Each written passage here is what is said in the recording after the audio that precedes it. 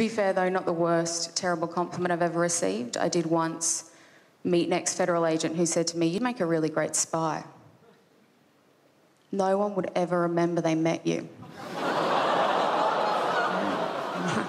it's brutal.